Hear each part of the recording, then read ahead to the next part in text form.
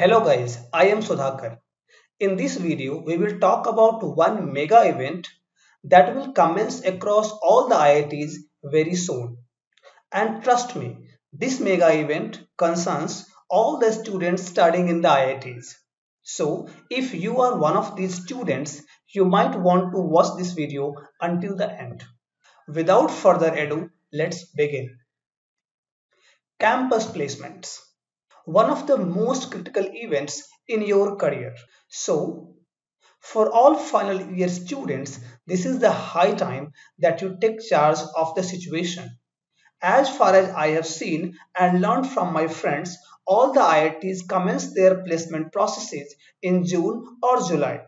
For example, the Office of Training and Placement of IIT Madras has shared the detailed procedure for 2021-22.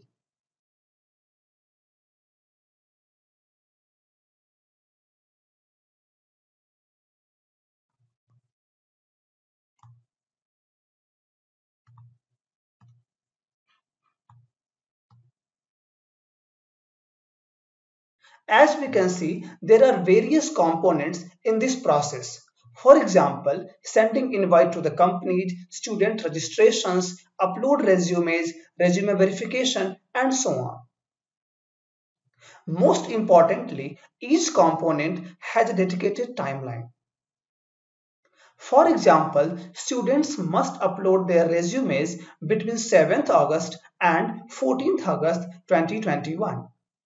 If we look closely, the test start from 13 September onwards, whereas the interview starts from 1st December onwards. From this process shared by IIT Madras, we can conclude that the campus placements at IITs are a semester long affair, that is from July to December. So it's high time that you start gearing up for the placements. In this video, I will highlight a few essential things which one must do if they are appearing for campus placements. For example, identify the sectors or profiles. Prepare your resume.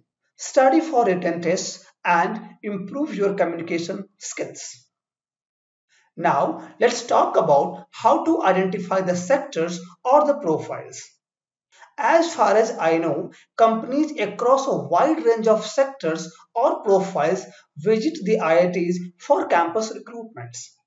However, you need to identify the sectors or the profiles which interest you the most. To do so, you should reach out to your seniors and refer to the placement blogs of your institute. Like IIT Bombay has a placement blog on which one can find the students recruited by different companies in any given placement season. However, this placement blog is only accessible to the students studying at IIT Bombay. Let's have a look at the Placement and Internship Report 2020-21 published by IIT Bombay in the public domain. I will jump directly to the seventh page of this report.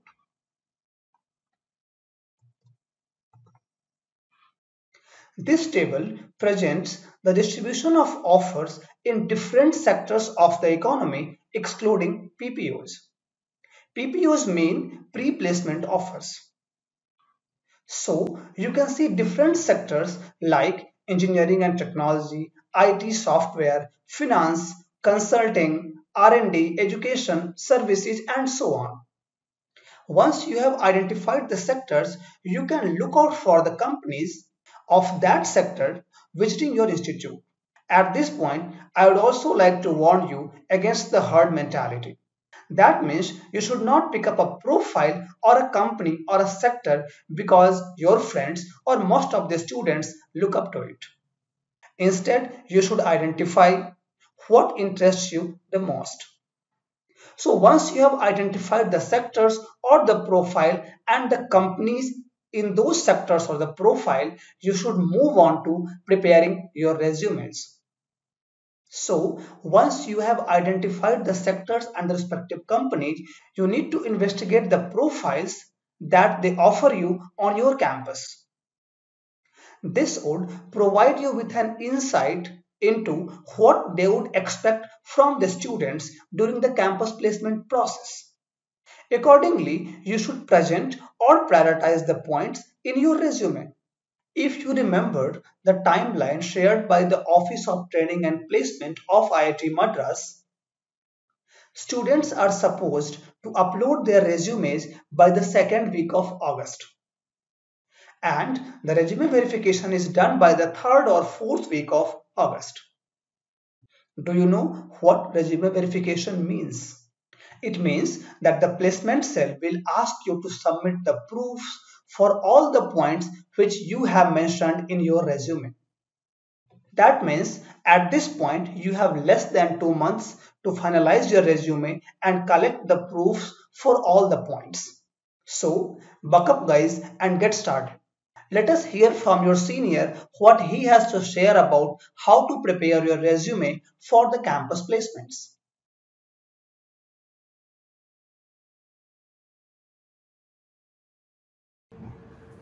Thank you, Sudhakar, for the introduction. Today I will be talking about the resume making process. I will give you an overview of the resume timeline and a few pointers for making a good resume. So regarding the resume timeline, I would like to advise you to start making your resume by first or second week of July. Uh, this is because during the second week of August, the resumes will be frozen and will be picked up for verification by the placement team. So uh, once the uh, resume has been frozen, you are not allowed to make any changes in the resume. So to start well in advance, start writing your resume right from first or second week of July. Uh, this is the time approximately when you will have a finalization of your BTech, DD or MTech project and you will also have a rough idea about the outcomes so you can start writing bulletin points for the project. So now uh, what is the best approach to cover as many resumes as possible uh, in the shortest amount of time by preparing. So start by listing down all the projects that you have done so list down all the course final projects that you have submitted for the uh, graduation of the course. List down all the assignments you have submitted during the course of the project, uh, during the uh, different courses, and list down all the self projects that you have done uh, during the course of your education. So now you have a list of all the projects that you have in the order of its uh, complexities. So now that you have all the projects, pick up each project and then make a mental map between the project and all the job applications which they align to. For example, a particular project uh, might be aligned to a machine learning job and also a controls profile job. So you want to align all the projects to different job descriptions which you can align to. And once you have these mappings ready uh, between all the projects and for each project, what are the different job profiles they align to, these, ma these mappings are ready. So now what you do is pick up a project pick up a job job description which it aligns to and then start writing bulletin points in the perspective of that particular job description. For example if you pick if you pick up a machine learning project and you want to uh, write it in terms of job description for a machine learning profile write down all the points which you want to cover. Then if you want the same project to be covered in a software description then write down the same project with a different perspective so that it aligns to the software uh, job description so once you have all these different bulletin points, each mapping to a different job uh, description profile. So you, for each project, now you have different perspectives already ready. So while writing these bulletin points, I would also advise you to do one thing. Go back to your submissions and check if you have proofs for these uh, points. For example, if you have quoted that I have used so and so method, uh, the method or the algorithm should be named in your reports so that that will serve as verification that yes I have indeed uh, used this particular uh, method for generating these results. So please ensure that you uh, you keep the proofs in well in place while you're writing the bulletin points itself because that will save a lot of time later on during the verification process. So we are at the stage where we have projects and each project has multiple perspectives to be looked at based upon different job descriptions and you have all the points ready and now that you have the points ready now we're going to gather the proofs for each of these points. Okay? Now you have done these three or four steps. What is to be done next? Now that you have the bulletin points ready you want to maximize the chance of uh, getting these bulletin points shortlisted for an interview.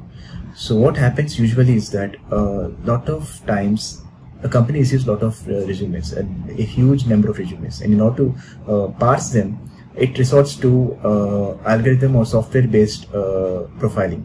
So what, essentially what this particular software does is it parses the resumes and then it'll, it'll find the keywords and then it'll order the resumes based upon the relevancy to the job description which it wants. So in this case, what you would like to do is that take these bulletin points and then add in as many keywords as possible for that particular job description. For example, if the key, uh, bulletin point was prepared uh, to uh, for a job description regarding machine learning, add in as many keywords from that particular uh, machine learning based job description. So read few job descriptions which are uh, provided by different companies, finding the keywords and then add them into your bulletin points. Uh, of course, which also means that you're not going to falsify anything, but you are only going to uh, augment whatever was written over there using the keywords. Okay, so this will ensure that you have uh, rich keyword rich bulletin points which are going to get you across during shortlisting. So once these steps are followed, uh, so what uh, you would also want to keep at the back of your mind is that uh, the uh, resume is a very costly space in the fact that it is a single document which is going to decide not just the entrance into the interview but also the first few minutes of the interview so the things you write in your resume is essentially the syllabus that is being uh, that will be questioned on in the interview so you ensure that you do not leave any blank spaces in the resume. If you have points which are leaving a lot of blank space in the end, try to fill in as much details as possible so that you do not leave too much blank spaces in your resume. Okay. And uh, now that we have covered the resumes and made them uh, uh, filled with keywords, so I would tell you about how many resumes are needed or uh, what are the different types of resumes needed at least in during our placement season. During our placement season what happened is that we were, we were given five resume slots. So it is not necessary to use all the resume slots. Uh, so only if we wanted to fill in a different resume then we could upload it into a different slot so we could upload a maximum of five different resumes in general one page resume is created for non-technical term firms and two page resume is created for technical firms first three slots which we had were for short headers and the last two slots were for long headers. So in short header, you will have your current and your uh, college education details. For example, if it's uh, MTech, then it's MTech and BTech uh, CPI and the year of graduation and the college details. And if it's a long header, then you'll also have your 10th and 12th class education details added. So why this is important? Before you start making your resume, go to your placement team and read the guidelines which uh, the placement team mandates. For example, at least in IIT Bombay, they'll uh, give you a set of guidelines uh, which uh, map to the amount of space you'll have to leave for the header to be automatically inserted. There'll be a, a margin space which will be prescribed by the team.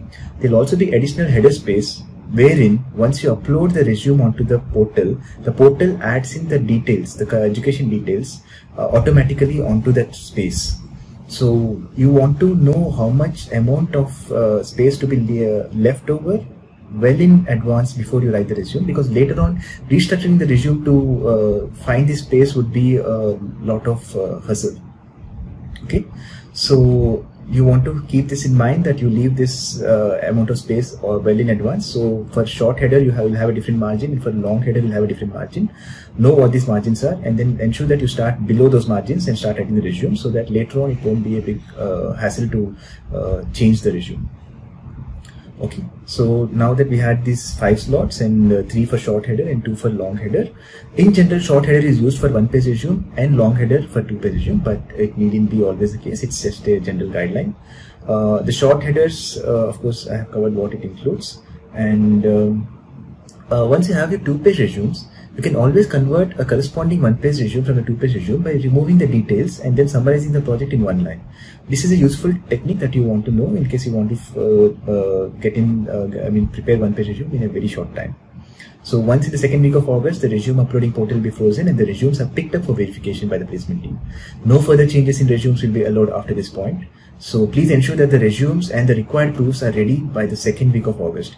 If you are mentioning impact numbers, which are numbers that compare you with others or numerical results in your project, these will definitely be verified by the authorities. So you'll have to give strong proof when you mention impact numbers. It is very easy to get this proof. You'll have to just uh, uh, uh upload the approved or attested uh, assignments or reports which does mention these numbers. Else, you can get a mail or approval from the professor saying that uh, the so and so numbers are valid uh, under my. Uh, uh, so I will stand responsible for these particular uh, verifications. So the professor might approve by mail or by handwritten approval, and these will be enough to serve as proof for these numbers. And if you do not have such proofs, it might be the case that the placement team later on might ask you to remove those numbers because uh, impact numbers definitely should carry proofs. At least that was the case during our placement time. And so once you have listed all these projects and you have mentioned impact numbers and use the keywords, uh, please keep your points clear and understandable. Uh, just because it's a technical resume doesn't mean that you're going to write a point which the interviewer himself or herself is not going to understand by reading it. You want to keep it understandable and you want to keep it very clear. Okay, and of course ensure you use all the space up. And once you have uh, written your resume, uh, please ensure that you are going to get it reviewed by your peers, your seniors, and if you have some friends working in companies, ask them to review your resume. This will help you twofold. First, you'll get a third eye review of your resume and in case if you have done any obvious mistakes such as maintaining consistency or not maintaining consistency in full stops or not maintaining consistency in capitalizations of words, these will be captured. And at the same time, it will also be useful in identifying if your resume is strong enough for that particular technical domain or if your resume has points uh, which are too hard to understand. These particular feedbacks and reviews will be given by your friends and by your peers and by your uh, uh, people, by your friends who are working from uh, different domains and your seniors in different companies. So these particular uh, feedbacks are very necessary in order to rephrase your resume so that it can get shortlisted and not just get shortlisted but also ensure that it will drive across the point that uh, all the main key words and key aspects of the project have been covered. Okay? And finally i would like to uh, tell you about statement of purpose documents. Some companies ask for sops so you'll have to write sops along with your resumes. Please uh, ensure that you will not make the SOP a rephrase of the resume. Okay, so you're not going to write the same points again and again because they already have your resume. So what you have to cover in your SOP is the additional details which you couldn't get into your resume. So remember the bulletin points which you have prepared in different perspectives, use them and also use the uh, additional uh, dropped out information in these bulletin points and then try to create an SOP which is strong and which is, going to back your resume. Okay, and you should also add in additional details uh, which regarding the technical proficiency and also why you are interested in particular uh, job description or particular research field. So these are the additional details which you want to put in your SOP and do not make it a rephrase of what you already have uh, written in resume. Okay. So keep it, keep it different, but keep it uh, in such a way that it's going to augment to what you already have written in your resume. Together, it's going to give you a very good uh, documentation of your projects. Uh, so that is what I would like to have, uh, like I would like you to have in mind while making resume and also please adhere to the timelines so that you don't have hassle in the last minute. Uh, I hope this is useful. Thank you very much. Now, I would like to talk about written tests. Again, I would like to refer to the timeline shared by the Office of Training and Placement of IIT Madras. According to this timeline, the written tests would commence in the second week of September. Even though September seems a bit far from now, given the variety of subjects that you need to prepare for the tests, it's time that to start studying for those tests. Look, there are there are a few things which you must prepare for the tests. For example, quantitative aptitude, verbal ability, etc. Now, depending on the profiles or the companies which you have identified, you have to prepare for other subjects as well, like coding, data science, machine learning, deep learning, your core engineering subjects, and so on. So, it would take time that you also know. So, why don't get started right now? To know about resources on coding tests, you should listen to Farheen. I will share the link of her video in the description of this video. Let us hear from your senior what she has to share about how to prepare for written tests.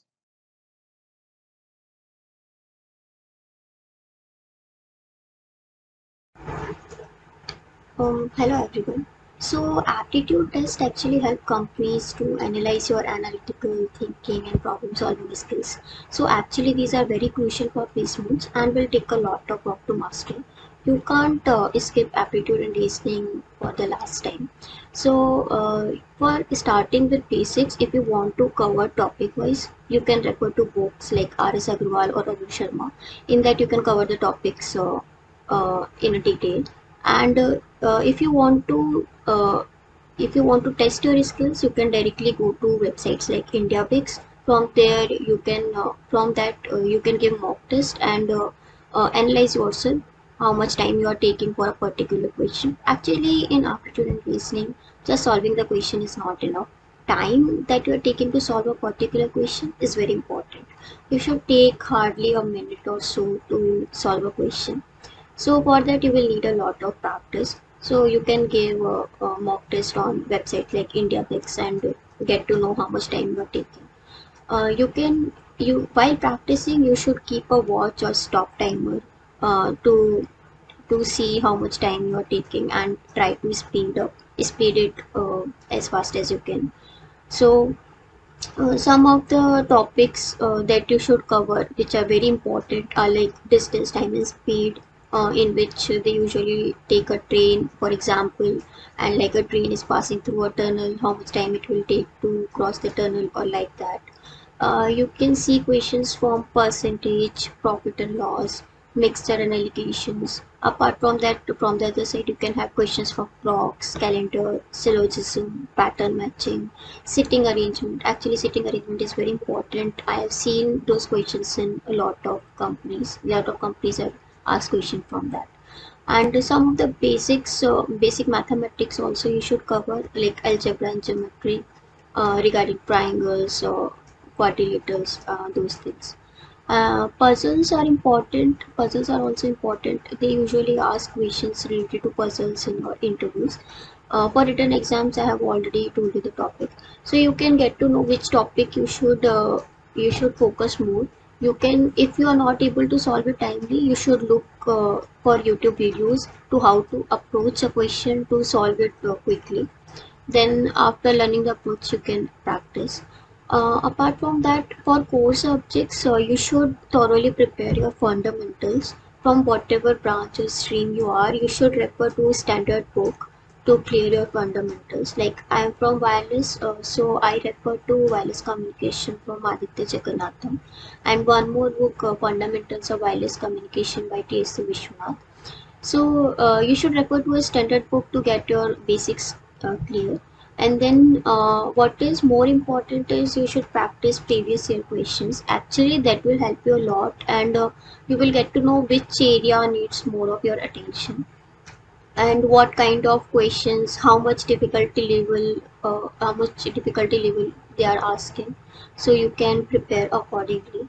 So core questions you can refer to your standard books and previous years. And for FT reasoning refer to websites and practice a lot for that uh, you should you should be able to do it timely.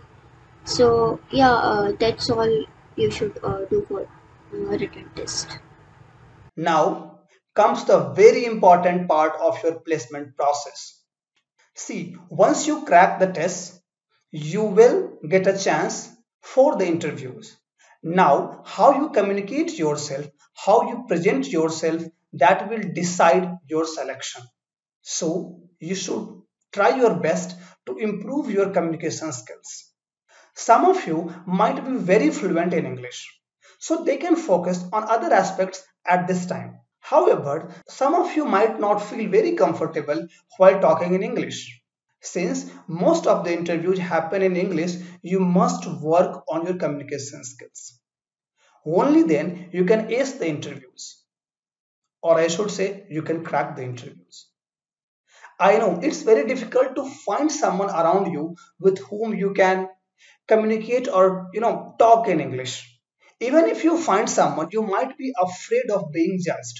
So you can start with baby steps like watching shows or series in English, participating in classroom discussions, reading English newspapers, reading Quora, or any online platform where you can improve your communication skills you will gradually start gaining confidence.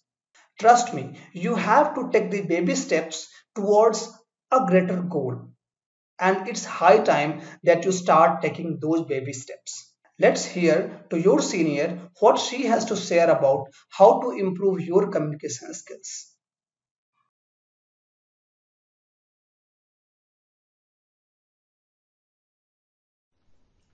Thank you, for giving me the opportunity to say something about the interview preparations and the communication skills.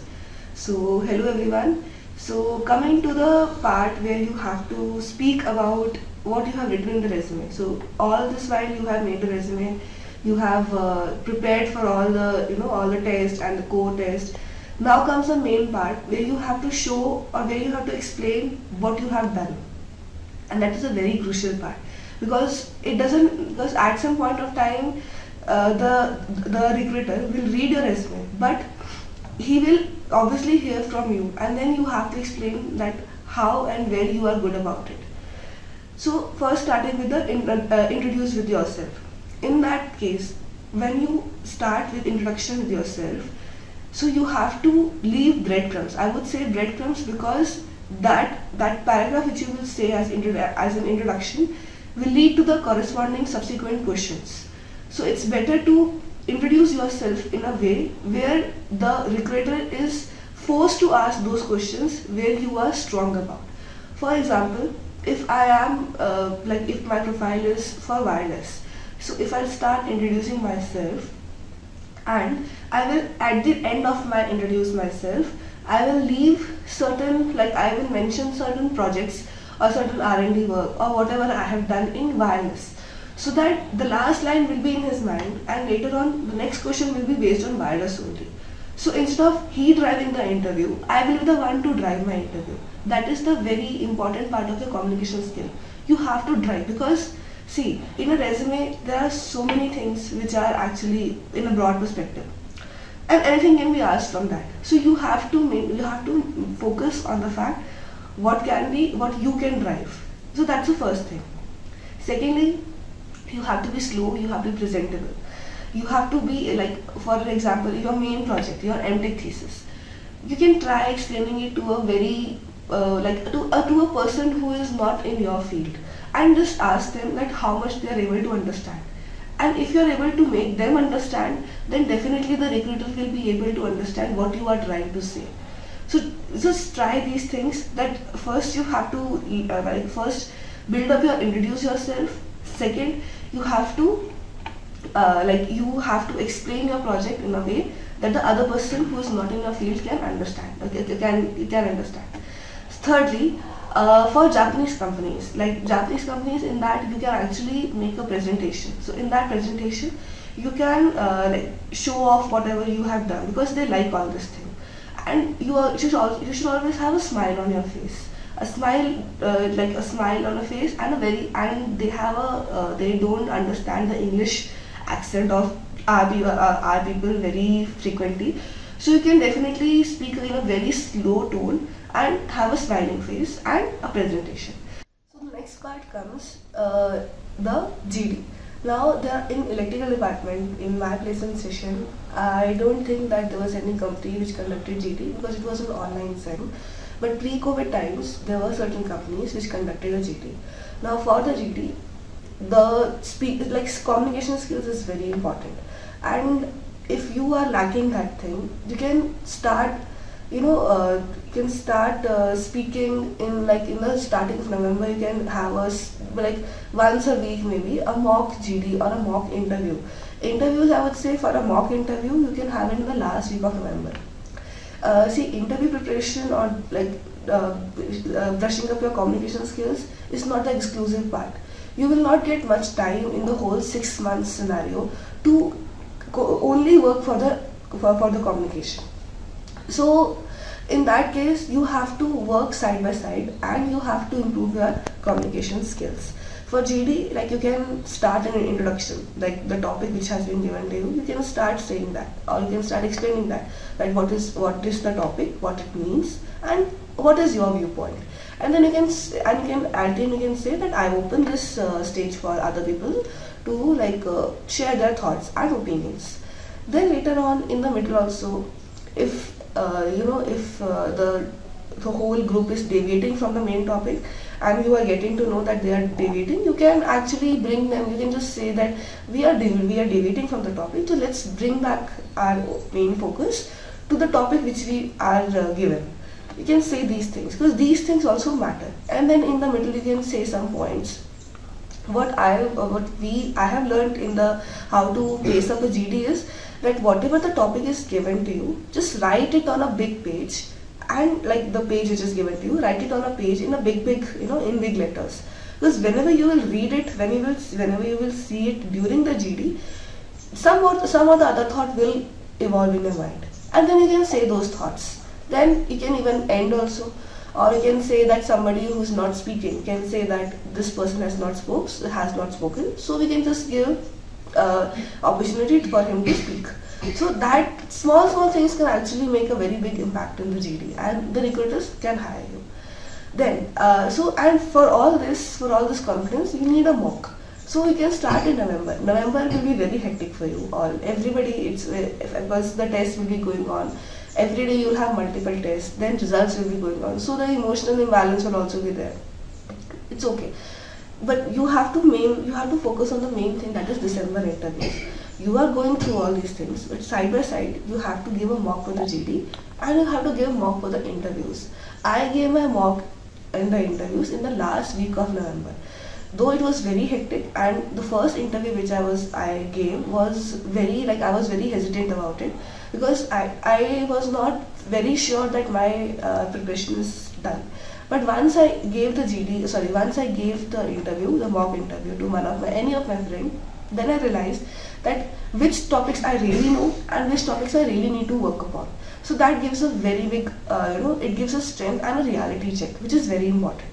So this all was for the online online uh, interview preparation, online online uh, procedure. Coming to the offline ones. So for offline one, uh, when you come and sit in front of the recruiter, don't have a firm posture because the firm posture and don't be very loose like very casual posture also. Because that will both extremes will show a negative impact. The firm posture will show that you are nervous while the casual will show that you are very you know carefree kind of person. You have to be balanced about it. Sit straight and uh, have a smile on your face. And while speaking don't use your hands much because the hands like when we use the hands then the focus will go on the hands. And so that is kind of a you know deviation from what you want to try to say. And the recruiter might not be able to hear you properly. So these certain these small small things will matter. I hope that uh, this will help you out and uh, all the best for your interview preparations